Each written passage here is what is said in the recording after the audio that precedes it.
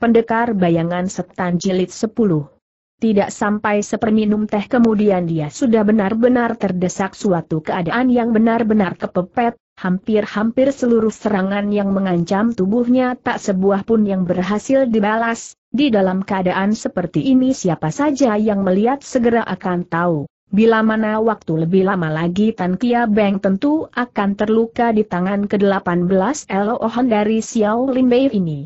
Haruslah diketahui Cap Wei Elohon dari Xiao Limbei ini masing-masing orang boleh dihitung sebagai jagoan nomor satu di dalam bulim orang yang bisa menahan serangan gabungan dari 18 orang secara bersama-sama sampai saat ini boleh dikata belum bisa dicari berapa orang yang benar-benar mau, apalagi Tan Kia Beng.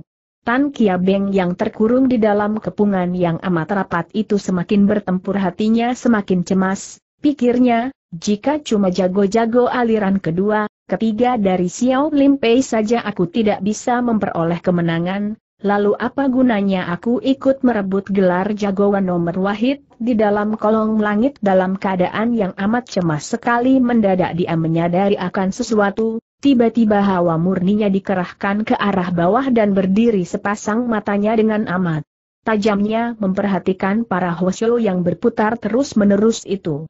Kedelapan belas Elohon yang sedang mulai mempersempit lingkaran barisan mereka melihat Tan Kia Beng menjadi tenang kembali hal ini sungguh-sungguh berada di luar dugaan mereka, tanpa terasa gerakan dari barisan mereka pun menjadi sedikit mengendor. Pada saat yang amat kritis dan cepat itulah tiba-tiba Tan Kia Beng membentak keras, sepasang telapak tangannya bersama-sama didorong ke depan dengan menggunakan jurus Jie Tiong Cheng Tian segulung angin Keng yang amat dahsyat disertai suara gemuruhnya guntur yang membelah bumi dengan amat hebatnya menerjang ke arah enam orang Hwasyo yang berdiri di hadapannya. Keenam orang Hwasyo itu dengan cepat menyalurkan hawa murninya ke arah tangan lalu enam buah telapak bersama-sama didorong ke depan menyambut datangnya serangan tersebut dengan keras melawan keras.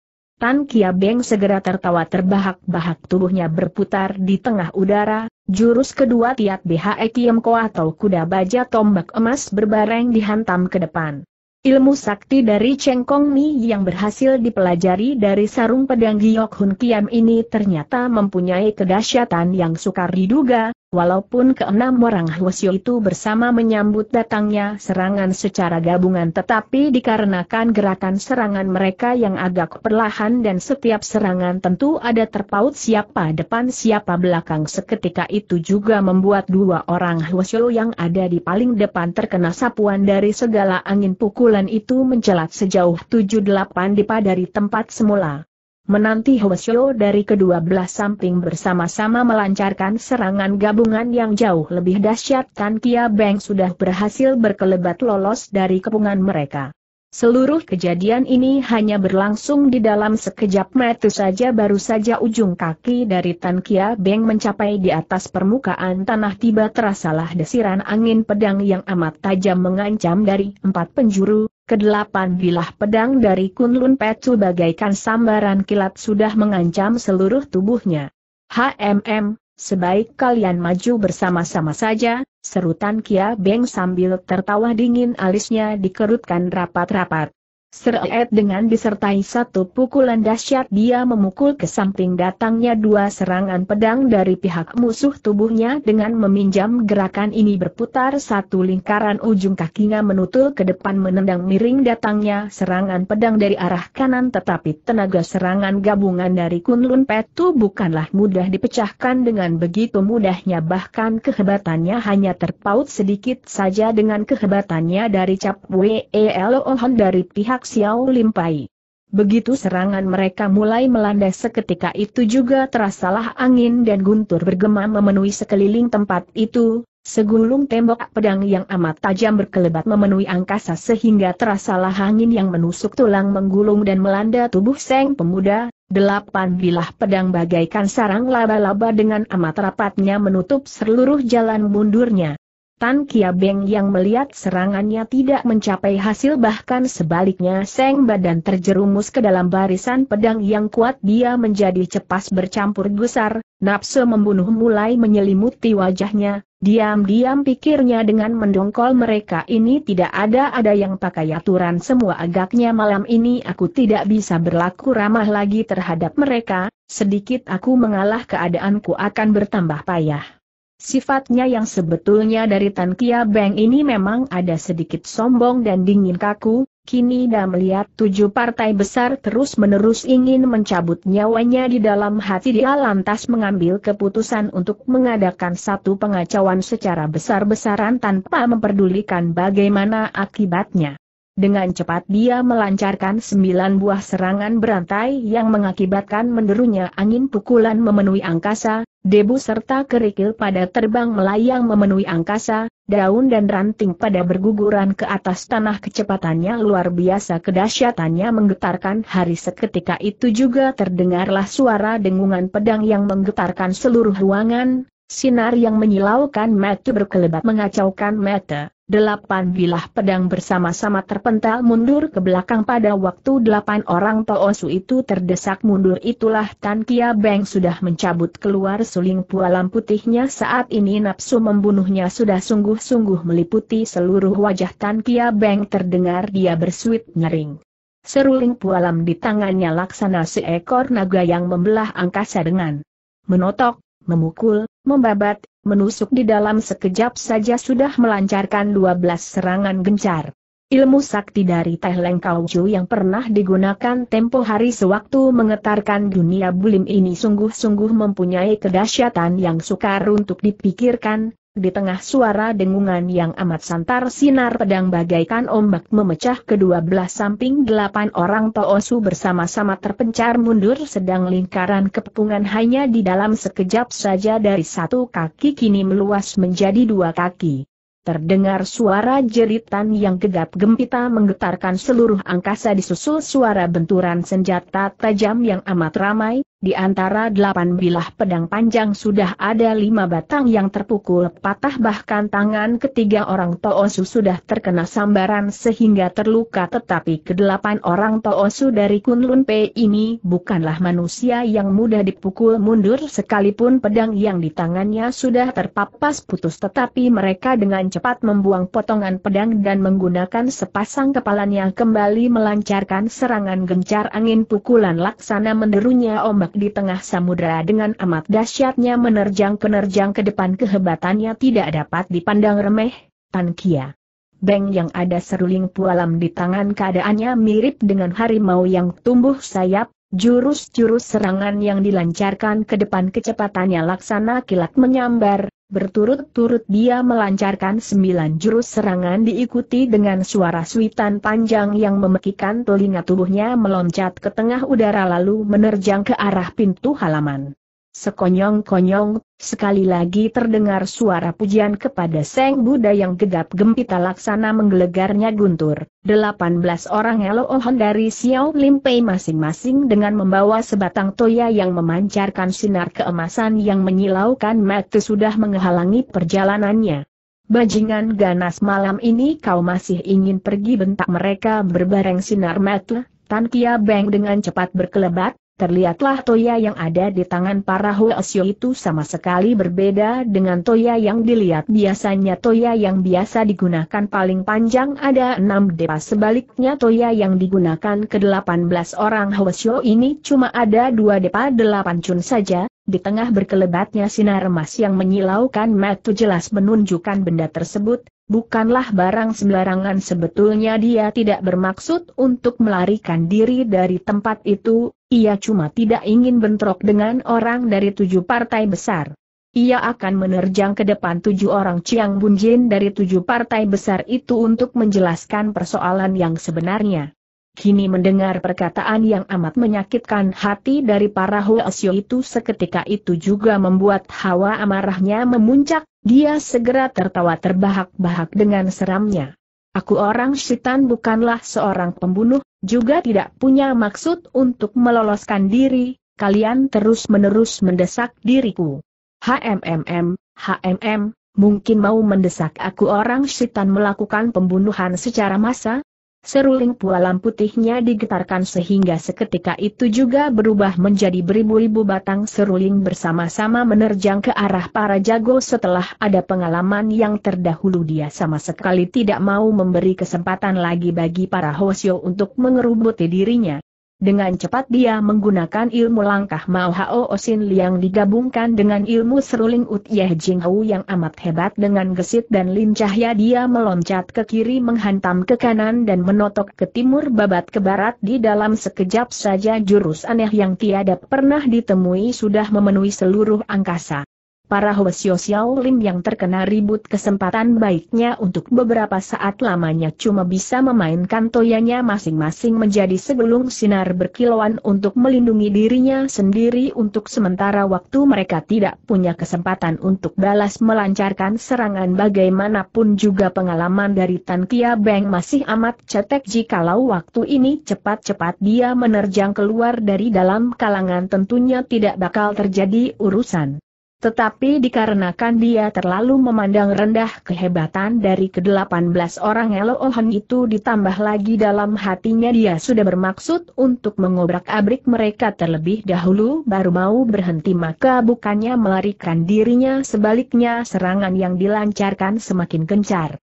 Makin lama akhirnya di tengah serangan angin pukulan yang amat gencar dan menyesakkan napas itulah mereka berhasil mendapatkan satu kesempatan untuk balas melancarkan serangan sekonyong-konyong suara pujian kepada Buddha kembali memenuhi angkasa dari kedudukan bertahan mereka berubah menjadi kedudukan menyerang, 18 buah toya yang memancarkan sinar keemasan yang menyilaukan mata dengan disertai menderunya angin pukulan yang menyakiti badan bagaikan mengamuknya gelombang menghantam tepi pantai menggulung datang dengan mengerikan.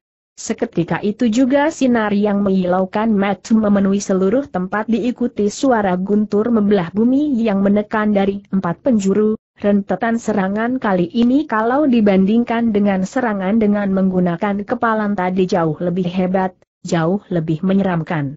Tenaga dalam dari ke-18 orang Elohon itu rata-rata sudah mencapai pada taraf kesempurnaan semua, ditambah lagi senjata toya yang ada di tangan mereka merupakan salah satu senjata yang berat apalagi melancarkan serangan sefara bersama-sama. Segera terasalah bagaikan berjuta-juta ekor kuda bersama-sama menerjang ke depan. Jurus-jurus serangannya mengacaukan pandan angin pukulannya memekikan telinga sehingga dada terasa sesak seperti ditindih dengan sebuah gunung. Taisan Tan Kia Beng menjadi cemas bercampur gusar, Hawa murninya ditarik dari pusar lantas disalurkan ke seluruh tubuh, seruling pualam putih yang ada di tangannya menyerang semakin kencang, sekali lagi ilmu seruling Uyat Ching Hun dilancarkan keluar. Seruling pualamnya laksana seekor ular putih dengan gesit dan lincahnya bergulung dan berkelebat di tengah sinar emas yang kemiluan. Pertempuran yang terjadi kali ini benar-benar amat seru dan sengit sekali, mau tidak mau Tan Kia Beng terpaksa mengeluarkan semua jurus lihai yang diketahui untuk mendesak pihak musuh, telapak kirinya diputar dan dimainkan sehingga mengakibatkan timbulannya bayangan tangan laksana. Gunung, dengan terpaksa ia menahan dan menutup seluruh sinar berkilauan dari tenaga gabungan ke-18 buah toya emas itu sebentar saja suara bentrokan besi yang amat ramai berkumandang tak henti-hentinya. Di dalam sekejap saja masing-masing pihak sudah sama saling serang menyerang 90 jurus banyaknya, walaupun ke-18 orang Elohon itu sudah menggabungkan seluruh tenaga mereka tetapi mereka masih belum juga sanggup untuk mengalahkan Tan Kia Beng, Sedangkan Tan Kia Beng sendiri pun untuk beberapa saat lamanya belum berhasil juga untuk memperoleh kemenangan saat ini Kun Lun Petu sudah berganti dengan pedang yang baru lengan yang luka pun sudah dibalut rapat-rapat, dengan perlahan mereka mulai menyebar kembali ke sekeliling tempat itu siap-siap menggantikan kedudukan dari Hwasyo Hwasyo Xiao Lim Pei.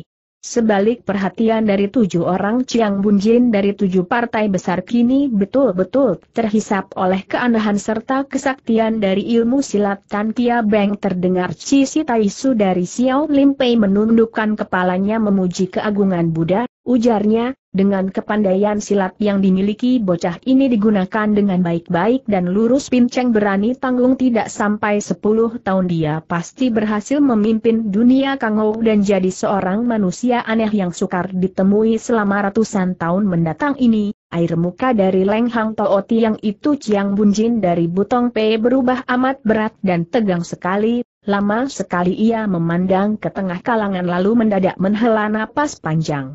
Dengan bakatnya yang sedemikian aneh bagaimana mungkin dia bisa terjerumus ke dalam aliran iblis. Pinto kira di dalam hal ini tentu ada hal-hal yang tidak beres, pada saat itulah dari tengah kalangan mendadak terdengar suara jeritan ngeri yang menyayatkan hati disusul munkratnya darah segar mengotori empat penjuru dua batok kepala gundul dengan membawa serentetan darah yang memanjur keluar laksana sumber air melayang ke tengah udara lalu menggelinding di atas tanah Cisi Taisu serta Leng Hang Tooti yang yang melihat hal itu tidak terasa lagi sudah menjerit kaget. Kiranya di dalam keadaan yang amat gelusar Tan Kia Beng sudah mencabut keluar pedang pusaka Kiem Ching Giok Hun Kiamnya pedang yang amat kuno dan sangat antik ini amat tajam sekali, terlihatlah sinar yang amat dingin berkelebat di tengah angkasa, segera tampak darah segar munkrat ke tengah udara dan berceceran mengotori permukaan tanah. Kembali ada tiga orang Hwasyo yang dengan beserta toyangnya terpapas putus menjadi dua bagian. Di antara ke-18 orang Elohon kini sudah ada dua yang binasa dan tiga orang yang terluka parah sebentar saja suasana menjadi kalut sedangkan barisan pun menjadi kocar kacir tidak karuhan. Melihat kejadian yang mengerikan itu tidak kuasa lagi Cisitaisu menghela napas panjang. Menurut keadaan saat ini mau tidak mau Pinceng harus turun tangan sendiri ujung jubahnya dikebutkan ke depan laksana seekor bangau yang menembus awan tubuhnya dengan amat cepatnya menerjang ke tengah kalangan. Kalian cepat menyingkir bentaknya nyaring. Biar Pinceng coba-coba menerima beberapa jurus serangannya, Sewaktu para Hosho dari Cap Weelohan melihat Siang Bunjin mereka mau turun tangan sendiri segera pada menarik kembali toyangnya dan mengundurkan diri ke belakang. Cisi Taisu tidak malu disebut sebagai seorang pendeta yang beribadah tinggi, walaupun dalam hati dia merasa amat gelusar tetapi air mukanya masih tetap tenang, perlahan-lahan dia merangkap tangannya di depan dada, lalu ujarnya, Si Cu turun tangan dengan begitu kejamnya apa tidak takut mendapat hukuman dari Tian jikalau Cai He yang terluka di tangan para Hosyo itu mungkin kalian akan menganggapnya sebagai takdir bukan sambung Tan Kia. Beng sambil tertawa dingin air muka Cisi Taisu tidak terasa lagi sudah berubah memerah yang dimaksudkan dengan keadilan oleh Tan Kia Beng ini sudah tentu dia pun merasakannya.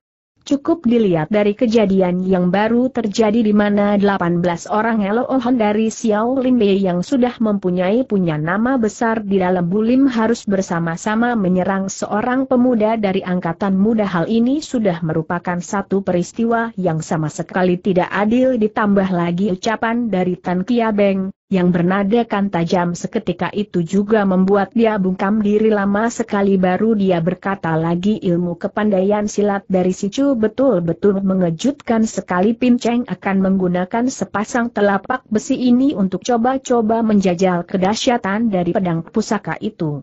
Haaah, Haaah kepandaian silat Xiao Lim Pei sudah menjagoi bulim hampir ratusan tahun lamanya ujar Tan Kia Beng tertawa terbahak-bahak dan memasukkan kembali pedangnya ke dalam sarung. Ini malam Cai Ha bisa memperoleh petunjuk dari Taisu benar-benar merupakan satu kejadian yang patut dibanggakan kenapa harus memaksa aku memainkan golok menggerakkan pedang Cisi Taisu kembali memuji keagungan Buddha sepasang telapak tangannya dengan perlahan disilangkan di depan dadanya. Tiba-tiba, Suara bentakan keras memecahkan kesunyian sambil menenteng pedang tahu-tahu Siong Hok Tooti yang sudah muncul di samping badan dari Cisi Taisu. HMM, orang ini terlalu menghina kami dari golongan Heng San ujarnya dengan gemas.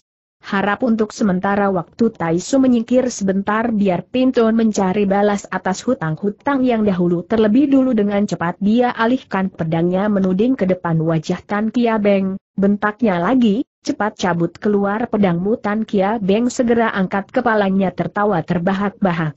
kau silahkan melancarkan serangan sesukamu, ujarnya dengan amat dingin.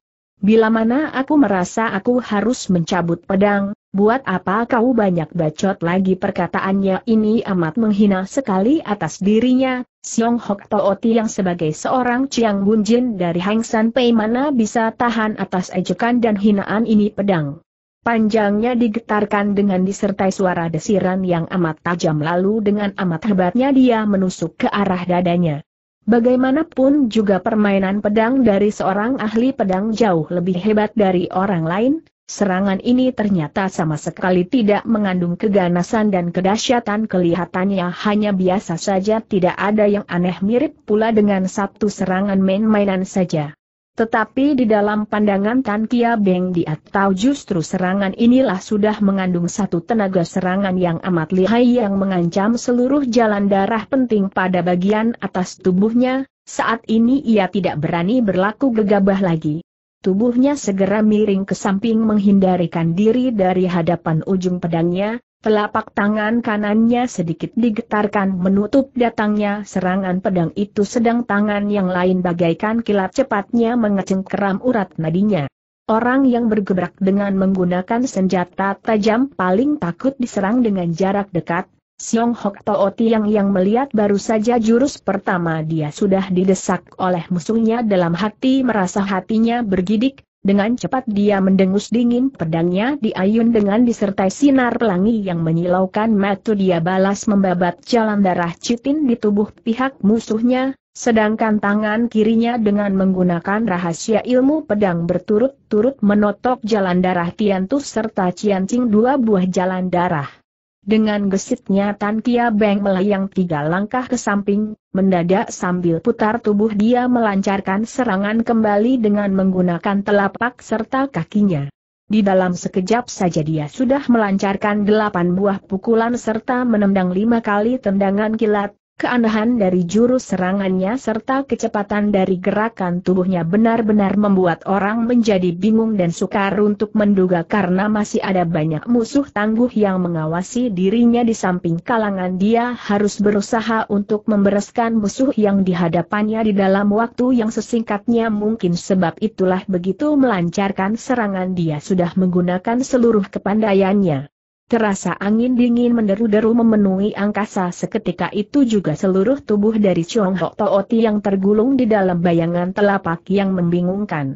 Siong Hok Tooti yang sebagai Chiang Bunjin dari Hang San Pei mempunyai pengalaman yang amat luas sekali sejak semula dia sudah menduga maksud hati yang mengandung di dalam benak Tan Kia Beng, saat ini seluruh nama besar dirinya serta kejayaan dari partainya tergantung di dalam pertempuran kali ini membuat hatinya terasa amat berat sekali. Saat ini dia hendak menyerang dulu tapi mempertahankan dirinya terus-menerus pedangnya dengan cepat digerakkan sehingga seluruh tubuhnya terbungkus di dalam selapis hawa pedang yang amat tajam dan sukar untuk ditembus. Seketika itu juga suatu pertempuran sengit antara naga dan harimau sudah berlangsung, masing masing menggunakan kepandaian silat yang paling lihai untuk berusaha menundukkan pihak lawannya, semakin bertempur semakin cepat dan semakin rapat, tidak selang seperminum teh lamanya, keadaan sudah mencapai pada puncaknya bayangan manusia berkelebat dengan kaburnya sehingga sukar dibedakan mana Tan Kia Beng mana Siong Hok Toa Tiang.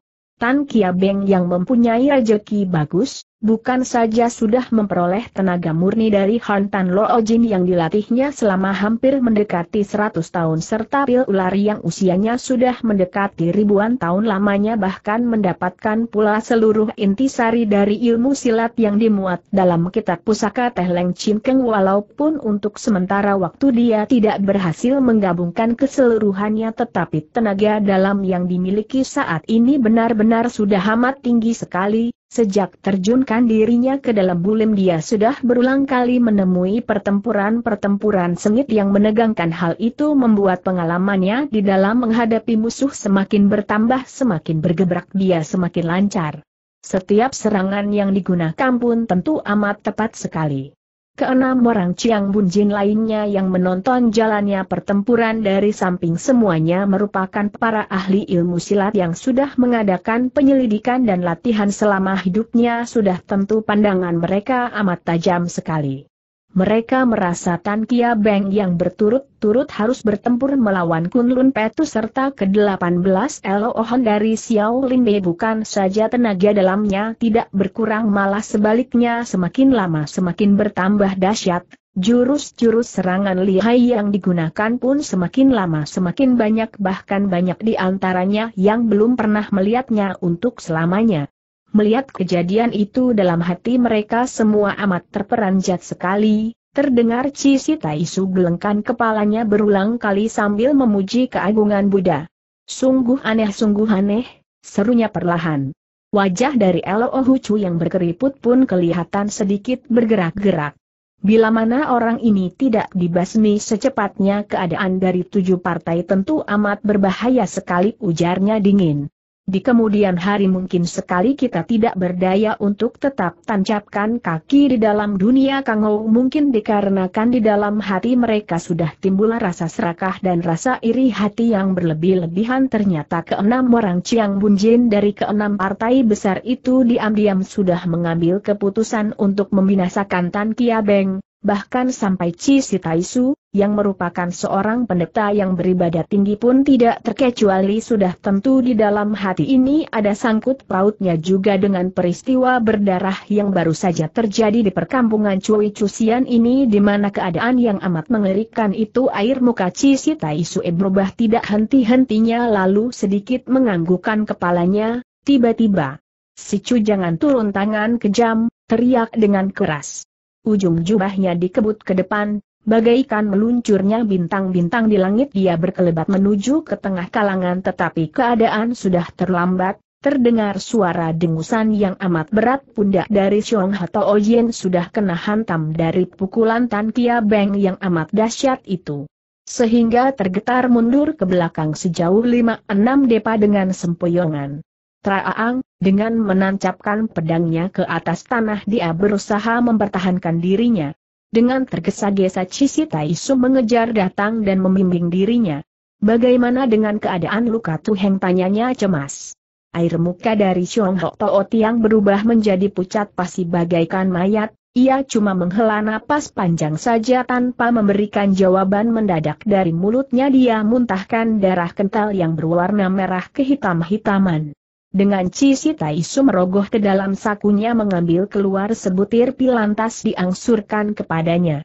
Pil ini adalah pil mujarab dari kuil kami, kemampuannya sangat mujarab sekali, harap Heng mau menerimanya, ujarnya dengan halus. Dengan sedih dan kepayahan Siong Hok Tooti yang gelengkan kepalanya.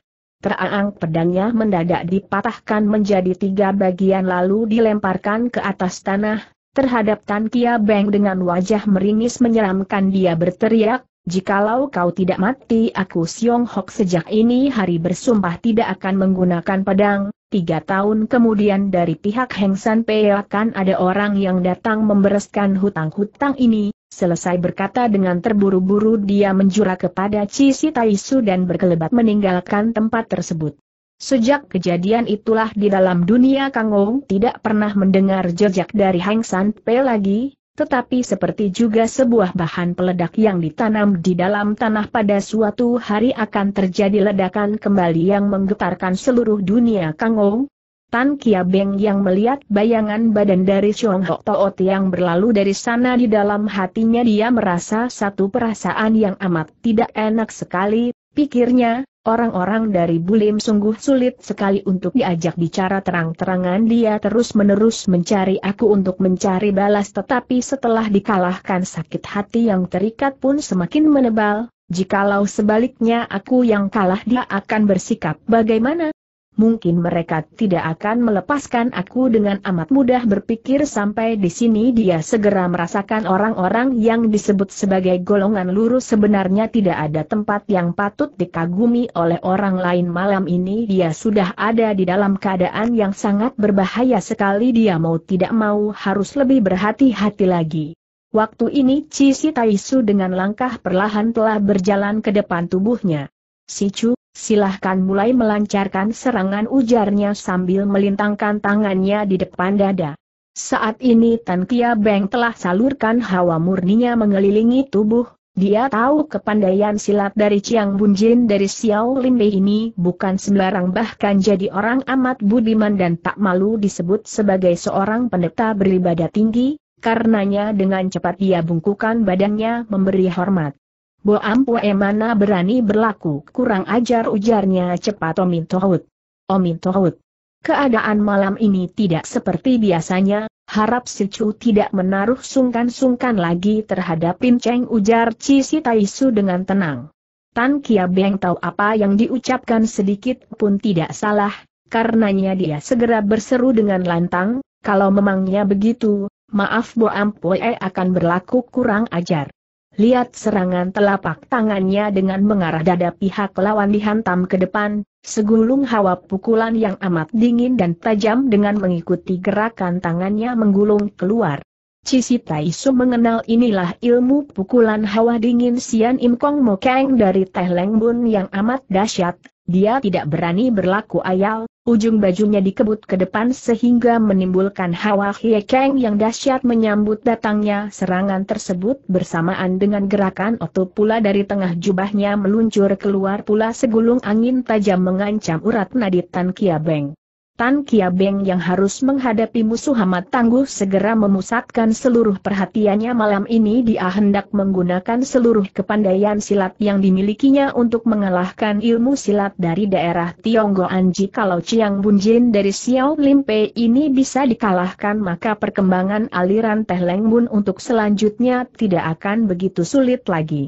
Begitu serangan kebutan dari Cici Taisu menyerang datang tidak terasa lagi dia menjadi keras. Ilmu Tan Mo Hwee atau jubah penghancur iblis dari Taisu sungguh amat dahsyat sekali. Telapak tangannya membalik mendadak lima jarinya bersama-sama disentil di depan. Seret, seret, lima gulung angin serangan yang amat tajam dengan kecepatan yang luar biasa menyambut datangnya serangan kebutan tersebut Xiao Hiap terlalu memuji sahut Cici Taisu sambil tertawa perlahan. Gerakan Growing Liantan atau lima suaru menyentil bersama ini baru betul-betul merupakan ilmu sakti yang jarang terlihat di dalam kolong langit. Walaupun pada mulutnya dia berbicara begitu merendah padahal tangannya sejak tadi sudah berubah jurus, kakinya maju ke depan sedang tubuhnya berputar ke belakang punggungnya ujung jubahnya bagaikan sambaran kilat berturut-turut melancarkan lima buah serangan gencar. Kelima buah serangan ini dilancarkan begitu cepat bagaikan berkelebatnya kilat membelah langit, tampaklah bayangan jubah berkelebat memenuhi angkasa dan mengancam seluruh jalan darah penting pada tubuh Tan Kia Beng dalam hati Tan Kia Beng merasa sangat terperanjat sekali, dia merasa nama besar dari Chiang Bunjin Xiao Limbe ini bukanlah nama kosong belaka kepandaian silatnya jauh lebih tinggi beberapa kali lipat dari Chong Hok Tooti yang sekalian. Tidak terasa lagi semangatnya berkobar kembali, dengan cepat dia bersuit panjang tubuhnya menerjang kembali ke dalam kurungan bayangan telapaknya, jurus-jurus aneh dari Teh Leng Bun segera dilancarkan keluar dengan sengitnya, berebut serang menyerang dengan dirinya. Suatu pertempuran yang sengit menyeramkan seketika itu juga sudah berlangsung dengan amat ramainya. Tua muda dua orang ini yang satu adalah Gunung Taisan dari Bulim, Chiang Bunjin dari Xiao Linbei yang namanya sudah menggetarkan seluruh dunia persilatan sedang yang lain adalah manusia berbakat aneh yang merupakan jelmaan dari Hantan Lo Jian itu Kaujo dari Teh Leng Bun. Di satu pihak berusaha mempertahankan nama baik dari Xiao Linbei yang sudah ada ratusan tahun lamanya menjagoi bulim di lain pihak hendak menggunakan pertempuran ini untuk merebut kedudukan bagi Teh Leng Kaunya di dalam dunia Kangou, membuat pertempuran ini semakin beruntung semakin dahsyat, ilmu-ilmu silat yang ditemui semuanya sudah dikerahkan keluar. Tetapi pertempuran di antara mereka sama sekali berbeda dengan pertempuran yang terjadi seperti biasanya masing-masing pihak berganti jurus serangan dengan amat cepatnya belum sempat satu jurus digunakan habis di tengah perjalanan sudah berganti lagi dengan jurus yang lain, ada kalanya pula satu jurus belum sampai digerakkan masing-masing pihak sudah menggunakan sembilan gerakan yang berbeda, bahkan serangan yang digunakan pun merupakan gerakan yang amat aneh. Cisi Taisu mempunyai tenaga dalam yang dilatih hampir mendekati seratus lamanya, apalagi mendapatkan pula seluruh intisari dari ilmu silat Xiao Limpei. Setiap jurus-jurus yang digunakan tidak ada yang bukan jurus-jurus sakti yang menggetarkan dunia Kangous, setiap gerakannya mempunyai perubahan yang amat banyak sekali. Sedangkan Tan Kia Beng yang dikarenakan waktu yang amat singkat buatnya untuk memperdalam ilmu silat yang termuat di dalam kitab pusaka Teh Leng Chin Keng membuat banyak rahasia yang belum sempat dipahami olehnya dengan adanya pertempuran ini maka sama saja artinya memberi satu kesempatan yang paling bagus buat dirinya untuk mendalami ilmu silat tersebut. Cisi Taiso tidak malu disebut sebagai seorang ketua partai besar, serangan yang digunakan semuanya dilakukan dengan benar-benar dan sungguh-sungguh, tidak peduli jurus serangan itu bagaimana ganas serta dahsyatnya di semua tempat dia menaruh belas kasihan yang berlebih-lebihan, membuat keadaan pertempuran itu tidak mirip dengan suatu pertempuran sengit yang sering terjadi. Dengan demikian hal ini merupakan satu kesempatan yang paling baik bagi Tan Kia Beng untuk memahami jurus silatnya. Pada permulaannya dan masih ada sedikit gugut dan kacau, ada beberapa kali dia kena terserang oleh gerakan yang amat aneh dari Cisi Taisu sehingga membuat dia terdesak mundur dalam keadaan yang menggemaskan. Tetapi bagaimanapun juga dia adalah seorang yang cerdik, setiap kali keadaannya terdesak, dari dalam benaknya yang sudah betul-betul hafal terhadap seluruh isi kitab pusaka Teh Leng Chin Keng itu dia bisa memperoleh jawaban yang memuaskan, setiap menghadapi keadaan yang sangat berbahaya cukup dengan satu dua gerakan yang amat aneh dia sudah berhasil mendesak Cisi Taisu untuk kembali setelah lewat seratus jurus kecerdasan dari Tan Kia Beng pun semakin bertambah tajam, Jurus-jurus serangan yang dipahami pun bertambah banyak sehingga setiap kali melancarkan serangan dia bisa memunahkan serangan lawan. Dengan amat mudah bahkan serangannya pun semakin lama semakin cepat Cici Taisu yang melihat lawannya makin lama makin bertambah lihai hatinya menjadi amat terperanjat, Sewaktu turun tangan tadi dia sudah merasakan pemuda ini sekalipun tenaga dalamnya amat tinggi tapi jurus serangannya terbatas dan tidak begitu hafal, dia percaya tidak membutuhkan waktu yang lama dia sudah berhasil menawan dirinya. Siapa sangka pekerjaan yang kelihatannya gampang ini ternyata amat sukar sekali, Sewaktu keadaannya sudah berhasil dia desak sehingga amat berbahaya ternyata dia pandai menggunakan jurus-jurus aneh yang belum pernah ditemuinya untuk mematahkan jurus serangannya sendiri. Berbarengan pula dia merasa terkejut juga atas kedahsyatan dari tenaga dalam pemuda itu yang seperti mengalirnya air di tengah samudra yang mengalir keluar tidak ada habis-habisnya. Waktu makin lama tenaga dalam yang dimilikinya bukannya bertambah lemah sebaliknya semakin menghebat, pukulannya pun makin lama makin dahsyat. Di dalam sekejap saja 258 jurus sudah berlalu dengan cepatnya, Tan Kia Beng makin lama makin lancar di dalam melancarkan serangannya, hawa pukulan yang ditimbulkan oleh serangannya pun laksana angin topan yang mengamuk, Jurus serangannya selalu berhasil merebut posisi penyerangan terlebih dahulu membuat tubuh Cisi Taisu yang tinggi besar seketika itu juga terkurung di dalam bangunan telapak yang mengaburkan pandangan. Cisi Taisu yang melihat nama baiknya terancam bahaya, sekalipun dia adalah seorang pendeta beribadat tinggi yang Nafsu ingin menangnya sudah lenyap tetapi pada saat ini dia mau tidak mau harus mengerahkan seluruh tenaga dalamnya juga untuk melakukan perlawanan. Tiba-tiba terdengar suara pujian Buddha yang amat keras, seluruh tubuhnya mendadak berkeruduk dengan amat keras, tubuhnya yang sudah tinggi besar membesar lagi sebanyak lima cun. Telapak tangannya yang putih halus dengan perlahan-lahan diulur keluar dari balik jubah.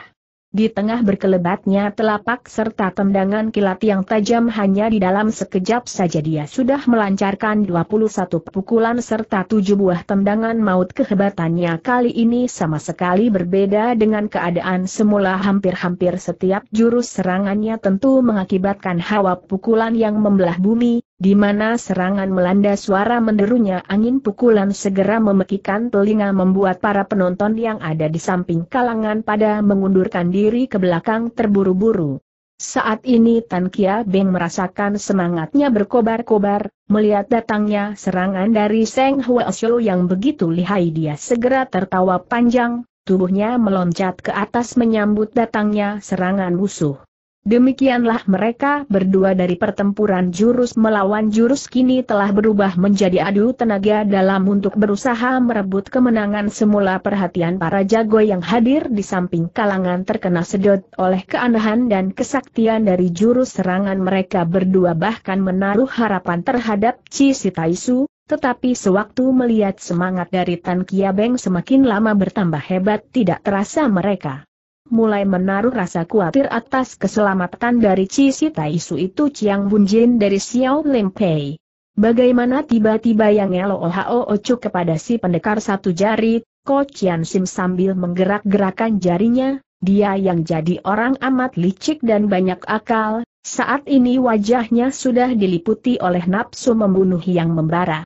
Maksudnya dia hendak mengundang keenam orang Cian Bunjin lainnya untuk bersama-sama bergebrak maju mengerubuti Tan Kia Beng seorang, cuma saja dia merasa tidak enak untuk berbicara terang-terangan. Si pendekar satu jari Ko Cian Jen adalah seorang yang bersifat pendekar, dia merasa dengan kedudukannya sebagai seorang Ciang Bunjin satu partai besar bila mana diharuskan bertempur melawan seorang angkatan muda. Hal ini sudah sangat memalukan sekali, apalagi harus mengerubuti bersama-sama dengan hati kurang senang dia gelengkan kepalanya perlahan, sinar matanya dengan perlahan dialihkan ke arah Leng Hang Tooti yang dari Butong Pei.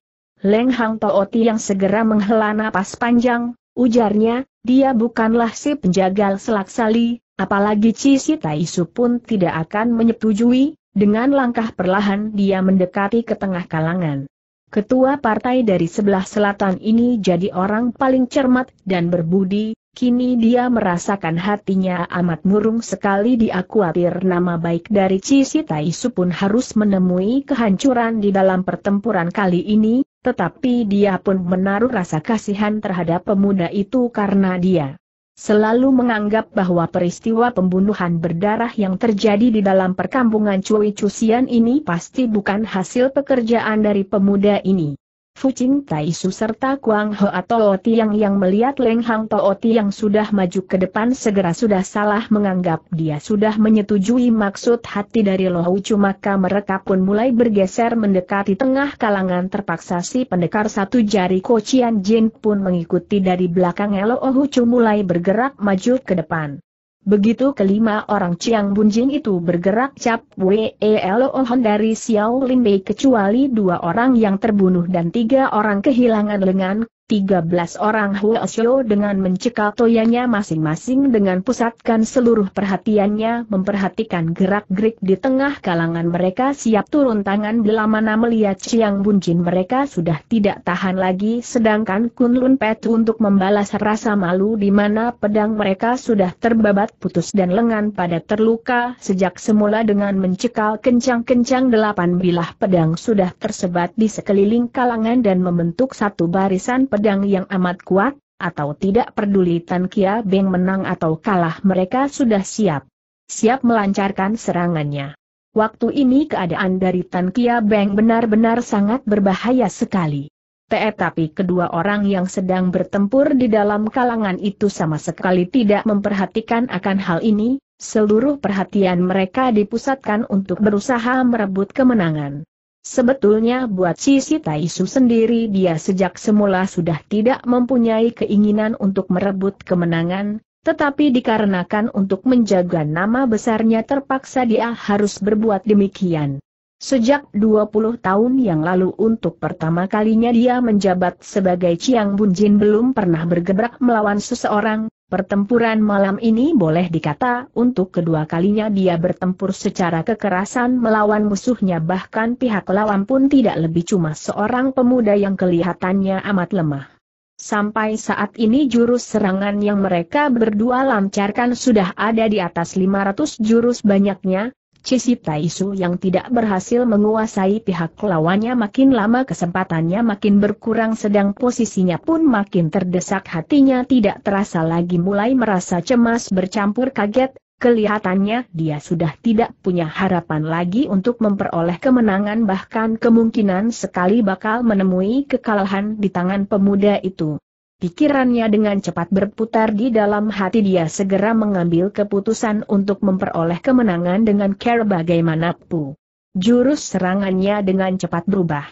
Telapak tangannya dengan mendatar dada mendesak didorong ke depan dengan hebatnya, segera terasalah segulung tenaga hawa yang amat santer disertai suara menggeletarnya guntur menyambut datangnya Tan Kia Beng dengan dahsyat.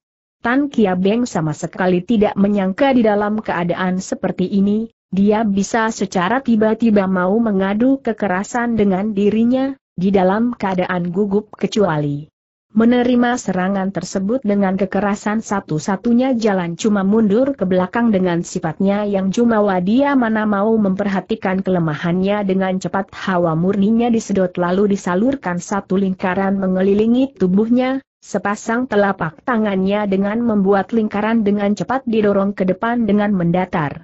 Dengan santarannya tenaga im serta tenaga yang itu bentrok menjadi satu sehingga mengakibatkan suara ledakan yang amat keras masing-masing pihak tidak kuasa lagi pada mundur dua langkah ke belakang.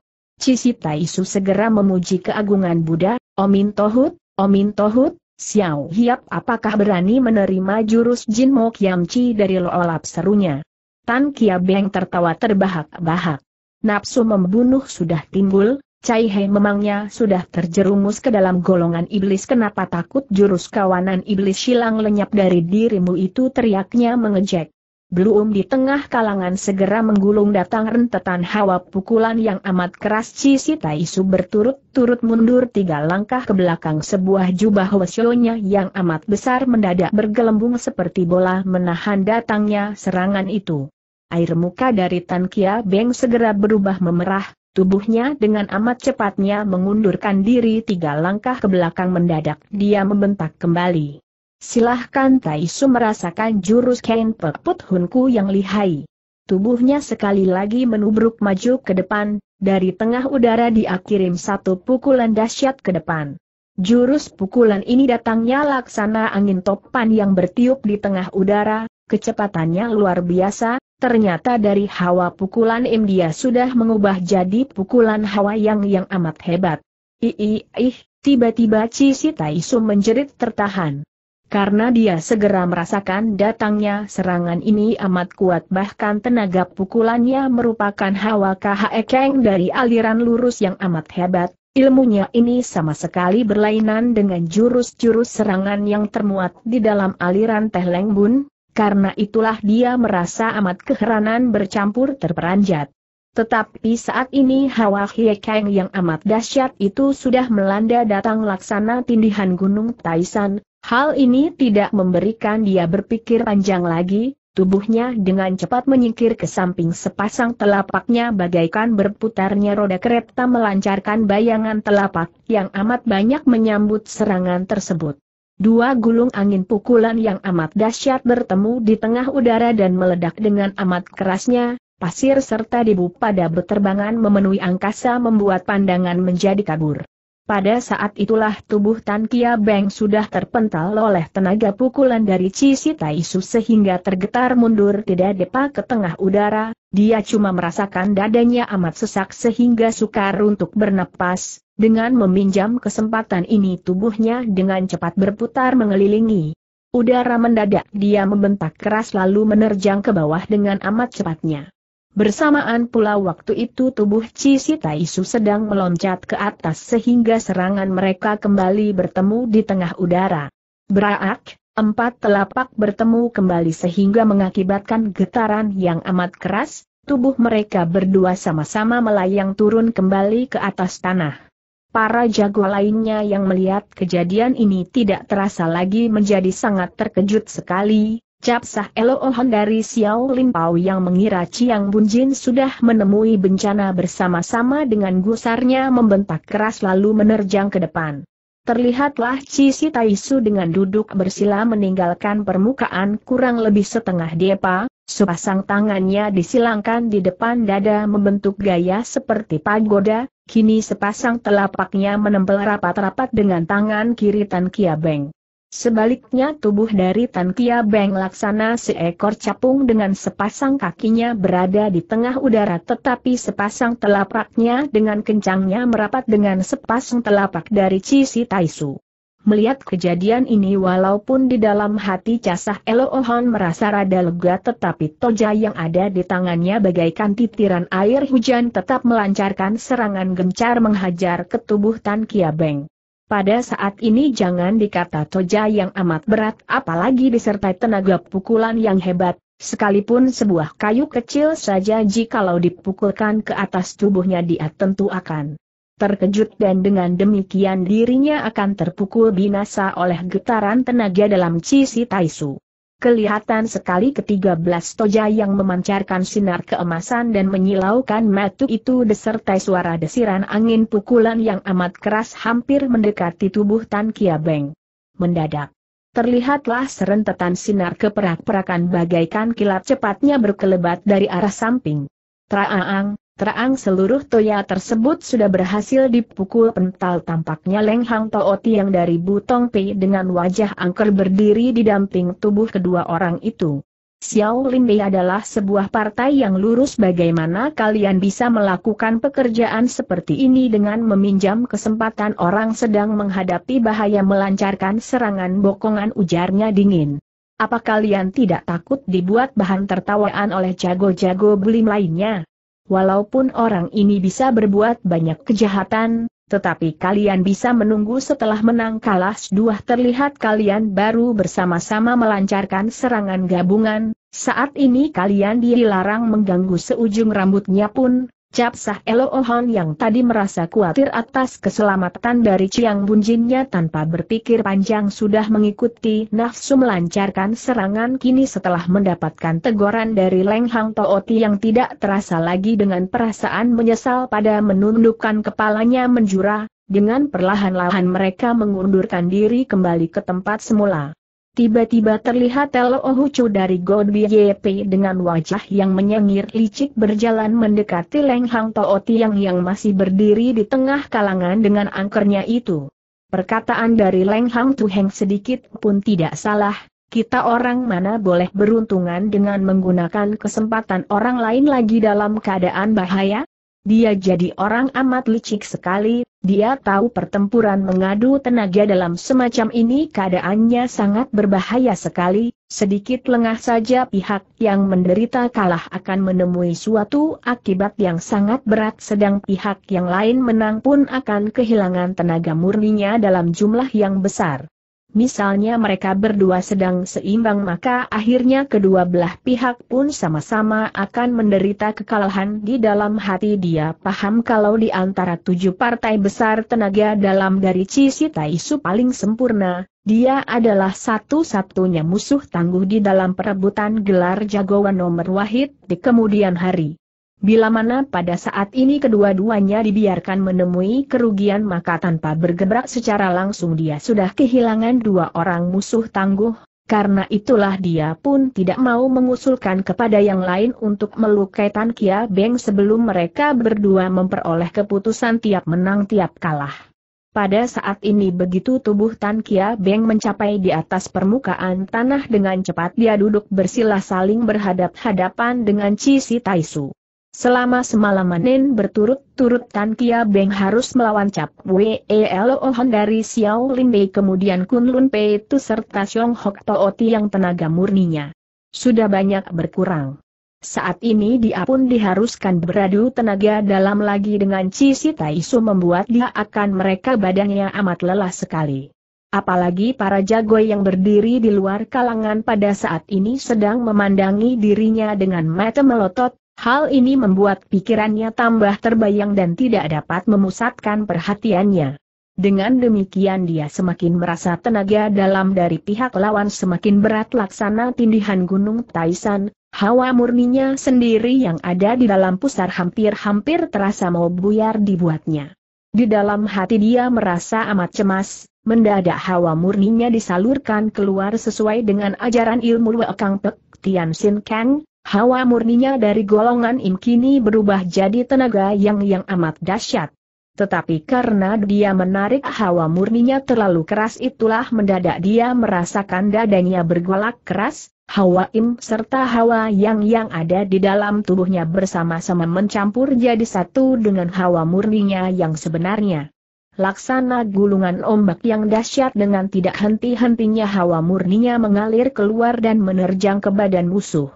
Dia sudah ada pengalaman satu kali, Sekalipun dia tidak tahu hal ini diakibatkan oleh pil sakti dari ular ribuan tahun serta tenaga murni dari Hantan Lo Ojin yang belum mencair dan bergabung menjadi satu tetapi dia tahu hal ini tentu ada sebab-sebabnya, sembari mengerahkan tenaga dalamnya untuk melawan pihak musuh diam-diam dia mulai menyalurkan hawa. Murninya dengan perlahan-lahan mencairkan kedua buah tenaga murni itu sehingga bersatu dengan tenaga murninya sendiri. Begitu mulai melancarkan serangannya Cici Taisu sudah memperoleh posisi yang amat baik membuat hatinya pun semakin menatap, dengan cepat dia mengerahkan seluruh tenaga dalam yang dilatihnya selama puluhan tahun ini untuk mendesak pihak lawannya. Mendadak dia merasakan tenaga dalam dari pihak lawan semakin dahsyat lagi, sebentar keras sebentar lunak dengan dahsyatnya mengalir keluar menerjang badannya membuat dia tak terasa lagi menjadi sangat terkejut. Dia segera menggigit kencang bibirnya sendiri tenaga dalamnya dikerahkan jadi sepuluh bagian untuk menahan datangnya serangan yang bertubi-tubi itu.